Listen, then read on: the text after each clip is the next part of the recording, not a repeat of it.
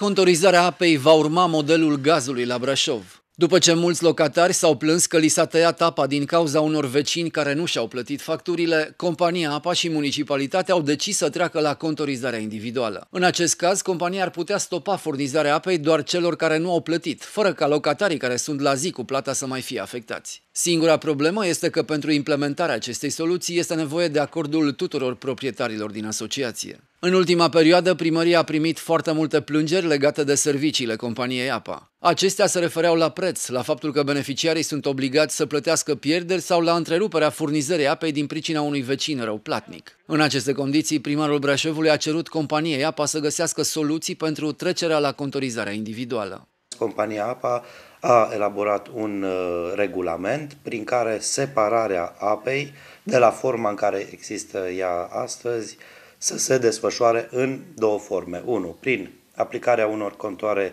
și respectiv apometre uh, inteligente, să se încheie un nou contract, de această dată individual, cu proprietarul apartamentului în cazul, în cazul locuințelor uh, la bloc sau în case cu, cu apartamente, iar în final, plata efectivă să nu se mai procedeze prin asociație și prin branșamentele de bloc, ci fiecare să aibă un contract și să plătească. Există cea de-a doua variantă cu construirea unor noi instalații de alimentare cu apă, de această dată pentru fiecare apartament câte o conductă. Chiar dacă aplicarea oricăreia dintre cele două soluții îi va costa ceva, brașovenii par să fie de acord cu contorizarea individuală. E foarte bine venită problema. Dar vor exista și costuri pentru fiecare apartament. Nu are nimic, dar ce până acum n-am dat.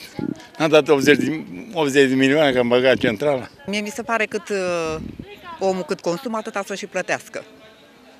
Mie mi se pare o chestie foarte, foarte normală. Acum e puțin costisitor pentru cei care nu au bani. Ideea nu e rea, mai ales prin prisma faptului că domnii de la apă, din cât am citit în ziare, cam își măresc salariile pe spinarea noastră.